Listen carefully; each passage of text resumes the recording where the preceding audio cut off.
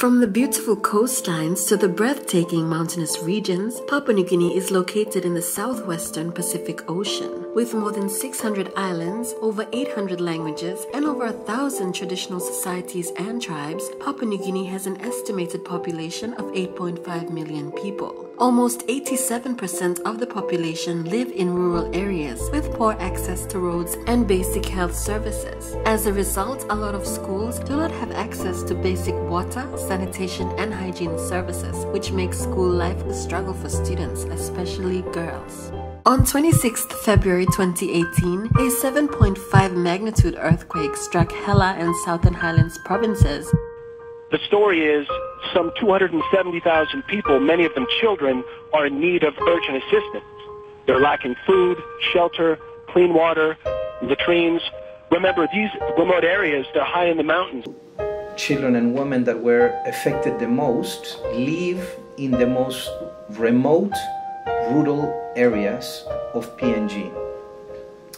Uh, having said that, the challenge was immense, but UNICEF was committed to uh, reaching out to as many children as possible.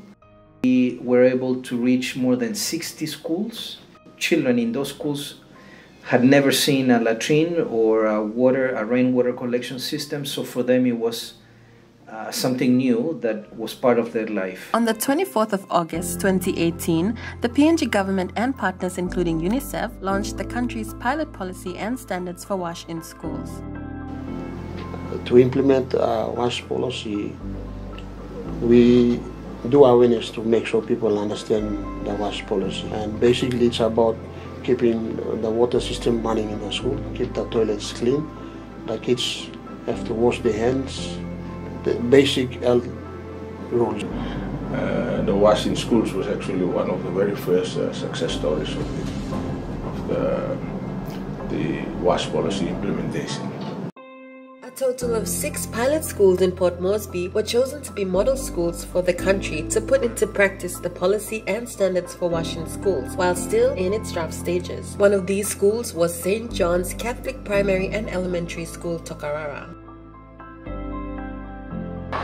When it was introduced, I think the community was really happy about it. The parents were very happy about it. Children are now more concerned about being clean. If they collect rubbish, they will always go to wash their hands. If they want to eat, they will always wash their hands. It became a practice now. We have also the buckets. Anglican, they were the ones who were coming after this project was launched. They gave us buckets, buckets of water and leave it out there with the soap. Before they eat or after they play, they come and wash their hands. Before changing room, girls just go in those we go in our toilets and after we use shower when they see their like man situation they since the our rubbish bins are outside the toilets they just have to put their rubbish somewhere inside the toilet they just they don't mind anybody can go inside and see it but they just put it inside the toilet since we don't have rubbish bins inside. They just put it inside because they're ashamed to it, bring it outside. They introduce the sanitation and everything we have to make this changing room. So now it's more easier that girls go inside the changing room and we have our bin as well inside the changing room. So after everything, we just put the rubbish inside the bin.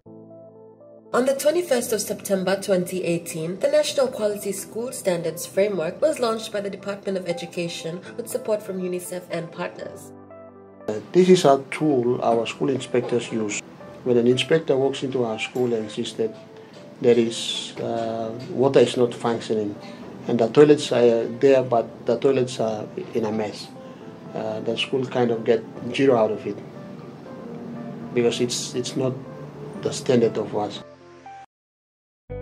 Throughout 2018, the Clean Pela Community Project, funded by the European Union and UNICEF in support of the PNG government's national wash policy, was launched in four selected districts of Papua New Guinea Goroka, Hagen Central, Nawaeb, and Central Bougainville. It has main four components. One of them is a WASH in school, uh, where we're going to deliver uh, wash infrastructure in 200 schools in four districts and we also have a soft component that is linked to the uh, CLTS and SLTS uh, in the communities that surround uh, the schools. With the introduction of the policy and standards for WASH in schools, the National Quality School Standards Framework, and the Clean Pela Community Wash Project, there are still challenges that are being faced with providing and sustaining wash services in schools. Papua New Guinea has got a huge geography challenges. We have got schools in very remote where there is no road. Department of Education alone cannot fully implement. We need all our partners. The country has some of the highest indicators which are not very good. Uh, for example, 50% of the children are stunted. That has a huge impact on the human resources and the potential for the country to grow. And that's one area that this project can address directly.